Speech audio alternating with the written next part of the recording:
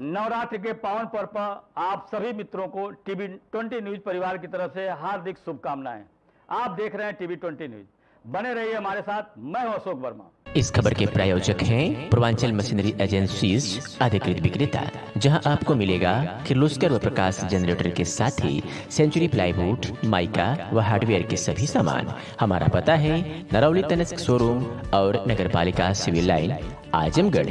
Mobile number है चौरानवे पंद्रह बीस सतहत्तर अट्ठाईस, यानी नौ चार एक पाँच दो शून्य सात सात दो खबर आजमगढ़ से जहाँ अनुदेशक शिक्षक संघ आजमगढ़ ने जिला अध्यक्ष गणेश यादव के नेतृत्व में गांधी प्रतिमा यादवपुर आजमगढ़ में क्रमिक अनुसंधान प्रदेश में संचालित होने वाले उच्च प्राथमिक विद्यालयों में कार्यरत लगभग तीस हज़ार अनुदेशक शिक्षकों के प्रदेश सरकार की नीतियों से त्रस्त होकर लगातार दस वर्षों से अपने हक और अधिकार की मांग करते चले आ रहे हैं, लेकिन अभी तक अनुदेशक शिक्षकों को उच्च न्यायालय लखनऊ एवं इलाहाबाद के सिंगल एवं डबल बेंच के आदेश के के बाद भी नहीं दिया गया, जबकि मार्च 2017 से अनुदेशक शिक्षकों को सातवें वेतन आयोग के तहत न्यूनतम मानदेय सत्रह हज़ार देने का प्रस्ताव केंद्र सरकार द्वारा पास हुआ था।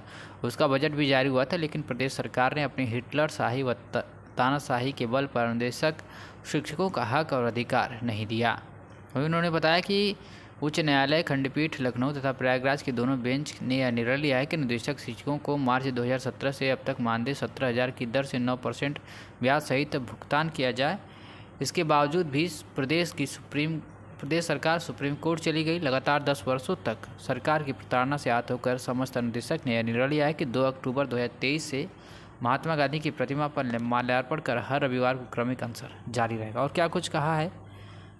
इस मामले में उससे सुनाने से पहले आपको बता दें कि इस मौके पर अमरजीत यादव संदीप यादव रीमा सीमा रंजना करुणाकांत अंजू सपना जायसवाल सत्यवान श्रीकांत अरुण चौहान वरुणदीप रामचंद्र अंजू दीपू ओझा पंकज रामवतार हरेंद्र शादाब अली अन्य समस्त अनुदेशक उपस्थित रहे। हाँ, क्या नाम भैया आपका?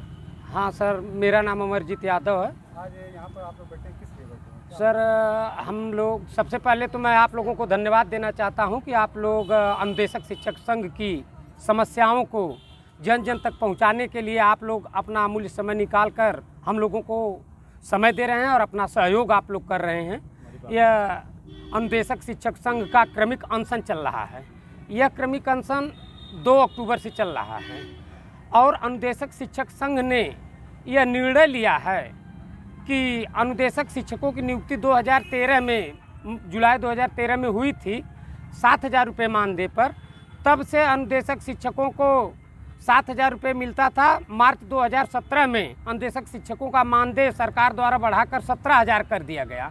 लेकिन वह सत्रह हज़ार कर दिया गया और केंद्र से बजट भी आ गया, लेकिन प्रदेश सरकार द्वारा वह सत्रह हज़ार मानदेय दिया नहीं गया। इसके बाद जब अनुदेशक शिक्षकों ने कई बार अपनी मांगे मांगी, धरना दिए तो इनके ऊपर लाठियाँ चार्ज हुई। फिर इसके बाद क्या हुआ कि अनुदेशक शिक्षक कोर्ट चले गए।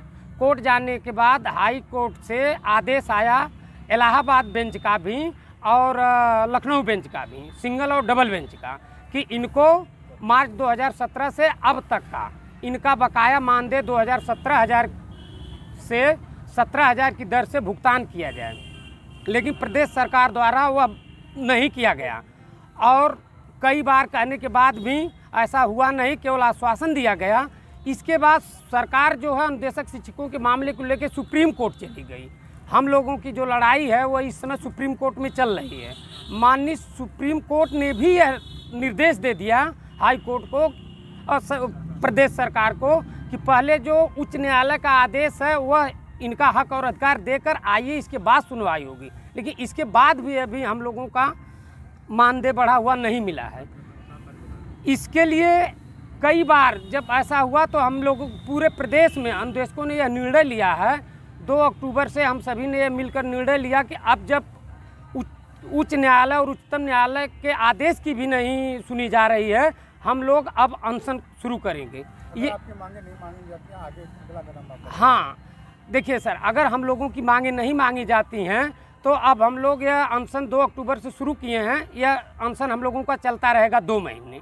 और दो महीने के अंदर हम लोगों के काम पर सुनवाई नहीं होती है तो पूरे प्रदेश से, प्रदेश अध्यक्ष जी भी शायद अगले कार्यक्रम में, प्रदेश अध्यक्ष भी हमारे कार्यक्रम में यहाँ पर भी आएँगे। और यह योजना बनाई गई है कि हर ज़िले से पूरे अनुदेशक पदयात्रा निकालेंगे और उस पदयात्रा को लेकर लखनऊ चलेंगे। लखनऊ पर विधानसभा के सामने परियोजना कार्यालय पर हम लोग धरना देंगे और ज़रूरत पड़ेगी तो आमरण अनशन भी करेंगे हम लोग। कब तक ये चलता रहेगा? जब तक हम लोगों की मांगें मान ली नहीं जाएँगी और हम लोगों का हक और अधिकार मिल नहीं जाएगा, तब तक ये कार्यक्रम हमारा अनवरत जारी रहेगा।